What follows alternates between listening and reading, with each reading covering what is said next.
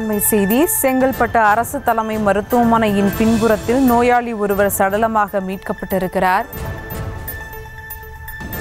உடல்நலக்குறைவு காரணமாக சிகிச்சை பெற்று வந்த சிகிச்சை பெற்று வந்தவர் மர்மமான முறையில் சடலமாக மீட்கப்பட்டிருக்கிறார். அது குறித்த அண்மை செய்தியை பார்த்து வருகிறோம்.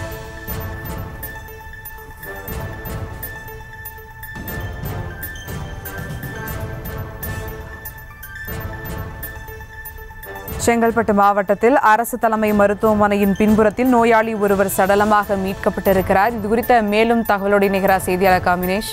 வணக்கம் விவரங்கள். வணக்கம் சுபா. செங்கல்பட்டு அரசு தலைமை மருத்துவமனையில் சிகிச்சை பெற்று வந்தவர் மருத்துவமனைக்கு பின்புறம் பிணமாக மீட்கப்பட்டுள்ள சம்பவம் பெரும் சந்தேகத்தை ஏற்படுத்தியுள்ளது.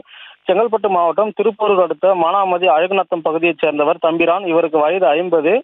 இவர் இதே பகுதியில் கூலி வேலை செய்து வருகிறார். இந்த நிலையில் கடந்த இரு தினங்களுக்கு முன்பு இவர் உடல்நலக்குறைவு காரணமாக செங்கல்பட்டு அரசு மருத்துவமனை அனுமதிக்கப்பட்டு சிகிச்சை பெற்று வந்தார். நேற்று இரவு வரை மூன்றாவது மாடியில் சிகிச்சைக்காக அனுமதிக்கப்பட்டிருந்த நிலையில் மருத்துவர்களின் கண்காணிப்பில் இருந்த அவர் இன்று காலை மருத்துவமனைக்கு பின்புறத்தில் சடலமாக மீட்கப்பட்டுள்ளார். இதனை அடுத்து மருத்துவர்கள் அளித்த புகாரின் அடிப்படையில் செங்கல்பட்டு நகர காவல்துறையினர் விரைந்து வந்து உடலை கைப்பற்றி உடற்குறு ஆய்வுக்காக அனுப்பி வைத்துள்ளனர். மேலும் இது குறித்து மூன்றாவது மாடியில் சிகிச்சை பெற்று வந்த தம்பிரான் மாடியில் இருந்து குதித்து தற்கொலை செய்து கொண்டாரா அல்லது வேறு ஏதேனும் காரணமா என போலீசார் தீவிர விசாரணை மேற்கொண்டு வருகின்றனர் சுபா. விவரங்களுக்கு நன்றி காமேஷ். செய்திகளை உடனுக்குடனும் துல்லியமாகவும் தெரிந்து கொள்ள சப்ஸ்கிரைப் பண்ணுங்க.